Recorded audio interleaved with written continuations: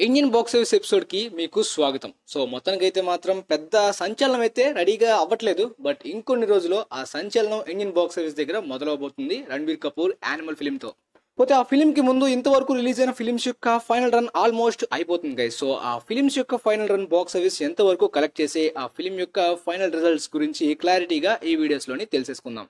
ముందుగా Leo film అయితే theatrical run complete చేసుకుంది గైస్ మీకు నెంబర్స్ ఏమైనా కావాలంటే లాస్ట్ వీడియోస్లోనే చెక్ చేసుకోండి. లియో అయితే థియేట్రికల్ రన్ అప్పుడే అయిపోయింది. పోతే మీకోసం క్లారిటీగా ఫైనల్ రన్ చెప్తున్నాను. సిక్స్ హండ్రెడ్ త్రీ క్రోర్స్ని కలెక్ట్ చేసింది అనమాట ఇప్పటిదాకా. ఇక ఆ తర్వాత ఫిలిం విషయానికి వస్తే ట్వెల్త్ ఫెయిల్ ఇదేంటి ఇంకా ఆడుతుందంటే స్టిల్ ఇంకా ఆడుతుంది. ఇదే మ్యాజిక్ అనమాట నిజంగా ఓపెనింగ్ డే నుండే మంచిగా శ్రద్ధ తీసుకుని ఉంటే మంచి ఓపెనింగ్స్ వచ్చి ఉంటే మాత్రం లాంగ్ రన్లో పెద్ద నెంబర్స్ క్రియేట్ చేసి ఉండేది ఫిలిం బట్ అంత మంచి ఛాన్స్ని అయితే మిస్ చేసుకున్నారు. వర్డ్ ఆఫ్ మౌత్ వల్ల దక్కాల్సిన రిజల్ట్ అయితే ఈ ఫిలిం కి చాలా వరకు ఇప్పటిదాకా దక్కుతుంది లాంగ్ రన్లో. రీసెంట్ గానే తరాన్ గారు పోస్ట్ వేశారు. అదేంటంటే ఈ ఫిలిం ఇండియాలోని ఫిఫ్టీ క్రోర్ నెట్ని కలెక్ట్ చేసిందని చెప్పి. మొన్న ఫిఫ్టీ క్రోర్ క్లబ్ వరల్డ్ వైడ్గా కలెక్ట్ చేసిందని వేశారనమాట గ్రాస్ బట్ ఇండియాలోనే అరౌండ్గా ఇప్పుడు ఫిఫ్టీ క్రోర్ నెట్కి కూడా రీచ్ అయింది. ఇండియాలోని ఫిఫ్టీ నైన్ క్రోర్ గ్రాస్కి అండ్ ఓవర్సీస్లోని త్రీ క్రోర్ గ్రాస్ని మొత్తంగా వరల్డ్ వైడ్గా ఇప్పటిదాకా సిక్స్టీ టూ క్రోర్ గ్రాస్ని ఈ ఫిలిం కలెక్ట్ చేసింది. వరల్డ్ వైడ్గా థియేటర్ ముగించుకుందా అంటే ఇంకా చెప్పలేను. మేబీ ఇంకొక వన్ వీక్ వరకు ఆడొచ్చు. అక్కడతోటి అయిపోతుంది ఈ ఫిలిం యొక్క థియేట్రికల్ రన్ ఇక ఆ తర్వాత రిలీజ్ అయిన జపాన్ ఫిలిం థియేట్రికల్ రన్ ఎప్పుడో కంప్లీట్ చేసుకున్నట్టుంది. బాగా స్లో అయిపోయింది అంటే లాస్ట్ వీక్ ఈ వీక్ పెద్దగా తేడా ఏం లేదనమాట కంప్లీట్గా వాష్ అవుట్ లా కనిపిస్తుంది మరి. ఇంకేం చేస్తారు? కంప్లీట్గా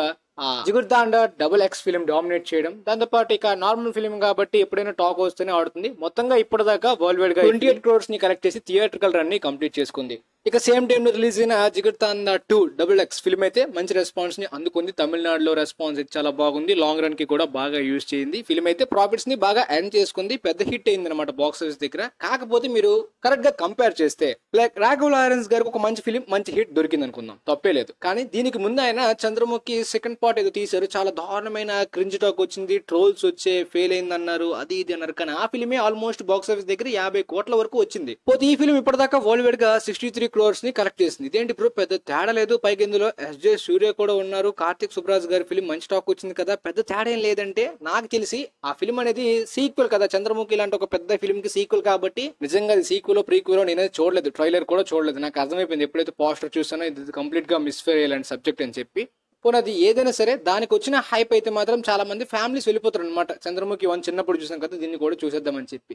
అండ్ ఈ ఫిల్మ్కి క్లాష్ ఉంది కదా పక్కన కార్తీ ఫిలిం జపాన్ సో ఒక కార్తీ ఫిలిం క్లాష్ లేకపోతే ఇంకా యూజ్ అయ్యి ఉండేది. పోతే ఇప్పటిదాకా కలెక్ట్ చేసింది తక్కువ కాదు బాగానే ప్రాఫిట్స్ వచ్చాయి ఈ ఫిలిం కి. ఇక ఆ తర్వాత ఫిలిం విషయానికి వస్తే సల్మాన్ ఖాన్ గారి టైగర్ త్రీ ఈ ఫిల్మ్కి నెగిటివ్ రివ్యూస్ నెగిటివ్ టాక్ వచ్చినా కూడా బాక్స్ ఆఫీస్ దగ్గర ప్రాఫిట్స్ వచ్చే అవకాశం ఉంది. అంటే జస్ట్ బ్రేక్ ఇన్ అయిపోయి హిట్ అయిపోయే ఛాన్స్ చాలా ఉందన్నమాట. ఎగ్జాంపుల్ రీసెంట్ బ్రహ్మాస్త్రే కాదు. ఒకప్పుడు ధూమ్ త్రీకి మిక్స్ టాకే వచ్చింది. క్రిష్ త్రీకి కంప్లీట్గా నెగిటివ్ రివ్యూస్ వచ్చాయి. దాంతో పాటు దిల్వాలే హ్యాపీ న్యూ ఇయర్కి దారుణమైన నెగిటివ్ రివ్యూస్ వచ్చాయి. రావణ్ ఫిల్మ్ కూడా రిలీజ్ అయిన టైంలో మిక్స్ టాక్ వచ్చింది. తర్వాత ఇప్పుడు అందరూ ప్రేస్ చేస్తున్న ఆ ఫిల్మ్ కూడా నెగిటివ్ టాక్ తోటి హిట్ అయిపోయింది. అంతెందుకు దబాంగ్ టూ ఇలా చాలా films negative talk mixed reviews వచ్చినా కూడా బాక్స్ ఆఫీస్ దగ్గర హిట్ అయిపోయినవి చాలా ఉన్నాయి ఎగ్జాంపుల్స్గా. సేమ్ ఈ ఫిల్మ్కి కూడా ఆ పొటెన్షియల్ అయితే ఉంది గైస్ కానీ ఆ పొటెన్షియల్ని ఫిల్మ్ ఎందుకు యూజ్ చేసుకోలేదో నాకే తెలియదు అవును గైస్ ఇంతవరకు బ్రేక్ ఈవెన్ అయితే మాత్రం ఈ ఫిల్మ్ అందుకోలేకపోయింది. అదే పెద్ద షాక్ అనమాట. పోతే రీసెంట్ బ్రహ్మాస్త్రాన్ని బీట్ చేసినట్టు వేసుకున్నప్పటికీ ఈ ఫిల్మ్ అయితే వార్ని ఈజీగా బీట్ చేసింది అనుకున్నాను ఎందుకంటే సల్మాన్ ఖాన్ కున్న మార్కెట్ అనేది ఈజీగా వార్ని బ్రేక్ చేయొచ్చు. పైకి ఇది త్రీ కోల్ పార్ట్ కూడా. పోతే ఇప్పటిదాకా వరల్డ్ వైడ్గా ఈ ఫిల్మ్ కలెక్ట్ చేసింది four hundred fifty crore gross అనమాట అంటే ఇంకొక ట్వంటీ థర్టీ క్రోర్ బ్రాస్ వస్తే వార్ని బీట్ చేస్తుంది. కానీ చాలా స్లోగా బీట్ చేస్తుంది ఈ పాటకు ఒక ఐదు వందల కోట్లు వచ్చింటే మాత్రం మినిమం పుల్ అయ్యింది లేరా అనుకోవచ్చు. మొన్న చెప్పారు చాలా మంది ప్రిడిక్ట్ చేశారు. టైగర్ జిందా హైని కూడా ఇండియాలోని నెట్ని బీట్ చేయలేదని చెప్పి. అఫ్ కోర్స్ ఈయనకి హైయెస్ట్ ఓపెనింగ్ నెట్ వచ్చిన ఈ ఫిలిం ఎందుకు లాంగ్ రన్లో టైగర్ జిందా హై అని బీట్ చేయలేదు అంటే world cup effect Deepavali effect అని చెప్పి అప్పట్లో డ్రాప్ అయింది కొద్దిగా. కానీ ఎంత డ్రాప్ అయినా యూనివర్స్ హెల్ప్ ఉంది కాబట్టి లాంగ్ రన్లో అయినా సరే మెల్లిగా కలెక్ట్ చేయొచ్చు అనుకున్నప్పటికీ త్రీ హండ్రెడ్ క్రోర్ నెట్ కొట్టడానికి కూడా ఇంకా డొమెస్టిక్గా సతమతం అవుతుంది. ఇప్పటిదాకా ఇండియాలో నెట్ మాట్లాడుకుంటే two seventy six crore net and three hundred thirty one crore gross మాత్రమే ఇండియాలోని కలెక్ట్ చేసింది. ఓవర్సీస్లో ఆ వార్ని ఎప్పుడో బీట్ చేసింది. మెయిన్ రీజన్ ఏంటంటే ఎస్ఆర్కే ఆమిర్ ఖాన్ తర్వాత ఓవర్సీస్లో సల్మాన్ ఖాన్కి థర్డ్ ప్లేస్లో మంచి మార్కెట్ ఉంది కాబట్టి one hundred eighteen crore gross మాత్రమే కలెక్ట్ చేసింది ఓవర్సీస్లో. కానీ ఎక్స్పెక్టేషన్స్ అయితే ఈజీగా వన్ ఫిఫ్టీ క్రోర్ గ్రాస్ని ఓవర్సీస్లో దాటేస్తుంది అనుకుంటారు ఎందుకంటే వన్ ఫిఫ్టీ క్రోర్ గ్రాస్ వరకు ఓవర్సీస్లో బ్రేక్ ఈవెన్ టార్గెట్ అక్కడ దాన్ని రీచ్ చేయలేకపోయింది. పోతే ఇండియాలో అయితే మాత్రం three hundred fifty crore gross three hundred eighty crore gross వరకు వెళ్ళాలి. ఎందుకంటే ఇండియాలో ఎక్కువ కలెక్ట్ చేస్తే కొద్దిగా ప్రాఫిట్స్ వస్తాయి. ట్యాక్స్ కట్ అవుతుంది కదా ఓవర్సీస్లో ఎక్కువగా. సో ఇక్కడ ఎక్కడ కూడా బ్రేక్ ఈవెన్ అవ్వలేదు మొత్తానికి వరల్డ్ వైడ్ అయితే ఐదు వందల కోట్లు దాటాలి గైస్ బ్రేక్ ఈవెన్ టార్గెట్ ఈ ఫిల్మ్కి గ్రాస్ పరంగా. ఐదు వందల కోట్ల గ్రాస్కి అయితే ఇప్పటిదాకా కలెక్ట్ చేసింది four fifty crore gross world వైడ్గా. సో దాని అర్థం ఏంటంటే ఓవర్సీస్లో ఇండియాలోని అక్కడ ఇక్కడ అంత కొంత కలుపుకొని లాస్ అయితే మాత్రం ఈ ఫిలింకి ఉంది. ప్రాఫిట్స్ వచ్చే అంశాలు అస్సలు లేవు. బ్రేక్ ఈవెన్ అయ్యే అంశాలు కూడా కనిపించట్లేదు. But still even Animal release అయిన తర్వాత కూడా ఈ ఫిలిం వార్ని బీట్ చేసే అవకాశం ఉంది. ఎందుకంటే బాలీవుడ్ లాంగ్ రన్ ప్రకారం ఇంకా కొన్ని రోజులు ఆడే పొటెన్షియల్ ఛాన్స్ థియేటర్స్ అయితే ఈ ఫిలిం కి ఉంది. మహా అయితే ఒక four hundred eighty crores four hundred ninety crores మధ్య వరకు ఇంకా వెళ్ళే ఛాన్స్ ఉంది. కనీసం అక్కడ వరకైనా మెల్లిగా లాగిందనుకోండి ఈ ఫిలిం ఎబో యావరేజ్ అవుతుందనమాట అంటే హిట్ అవ్వకుండా బ్రేక్ ఇన్ అవ్వకుండా కొద్దిగా తక్కువ దగ్గరలో ఉండిపోయిన ఫిలిమ్స్ని ఎబో యావరేజ్ అంటారనమాట సో ఆ విధంగా ఆగిపోతుంది ఈ ఫిలిం ట్విట్టర్లో చాలామంది చాలా మంది బాయ్ ఫ్యాన్స్ అయితే పఠాన్ జవాన్ని ఈజీగా ఎగరేస్తాం అది ఇది అని చెప్పి కాంట్రవర్సీ ఫ్యాన్ వర్స్ చాలా టాక్సిక్గా చాలా గొడవలు జరిగాయి అనమాట బట్ నేనైతే పఠాన్ తర్వాత యూనివర్స్కి బాగా హైప్ పెరిగింది థర్డ్ పార్ట్ పైగా ఇద్దరు క్యామియోస్ ఉంటాయి కదా వెయ్యి కోట్లు పఠాన్ని బీట్ చేయొచ్చు అని అనుకున్నాను. కానీ సిచ్యువేషన్ లక్ష్మి సినిమాలో ఒక సీన్ ఉంటుంది వేణుమాధుది ఈ టైగర్కి టైం వచ్చింది ఎవరినైనా తంతాడని చెప్పి. కానీ లాస్ట్ ఏం జరిగిందో అలా జరిగిపోయింది ఇక్కడ పాపం.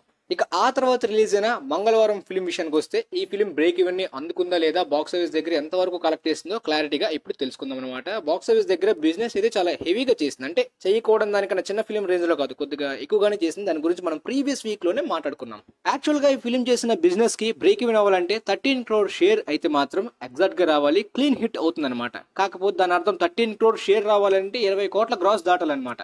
అండ్ అది అరౌండ్ ఇరవై అని చెప్పలేను. ఇరవై రెండు కావచ్చు ఇరవై మూడు కావచ్చు ఇరవైలో కావచ్చు అలా అనమాట కొద్ది ప్రస్తుతానికి అయితే ఈ ఫిలిం థియేటర్కల్ రన్ని కంప్లీట్ చేసేసుకున్నట్టే ఉంది గైస్ చాలా ఫాస్ట్ గానే మొత్తం అంతా కూడా తగ్గిపోయే స్క్రీన్స్ కానీ జనాలు కానీ అంటే కౌంట్ రావట్లేదు. మొత్తం డైలీ చూస్తుంటే ప్రస్తుతానికి వరల్డ్ వైడ్గా సెవెంటీన్ పాయింట్ ఫైవ్ క్రోర్స్ని కలెక్ట్ చేసింది. దాని అర్థం బాక్స్ ఆఫీస్ దగ్గర బ్రేక్ ఏం అవ్వలేదు.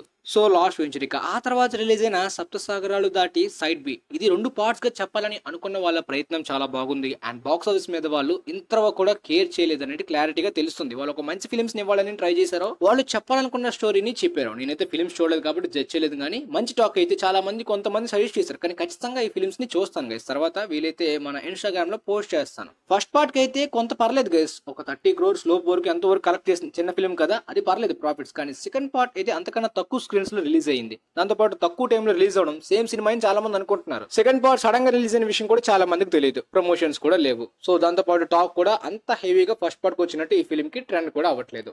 కేవలం టెన్ క్రోర్స్ మాత్రమే కలెక్ట్ చేసింది గైస్ రీసెంట్గా తెలిసింది ఏంటంటే ఈ ఫిల్మ్ అంటే ఫస్ట్ పార్ట్ కూడా పాన్ ఇండియా రిలీజ్ చేసినట్టున్నారు చాలా లాంగ్వేజెస్ బట్ హిందీలో రిలీజ్ అయిందో డబ్ అయిందో లేదో నాకు తెలియదు బట్ ఈ ఫిల్మ్ అయితే మాత్రం ఒరిజినల్ కన్నడ కదా తెలుగులో డబ్ చేశారు తమిళ్ళో డబ్ చేశారు మలయాళంలో కూడా డబ్ చేశారు.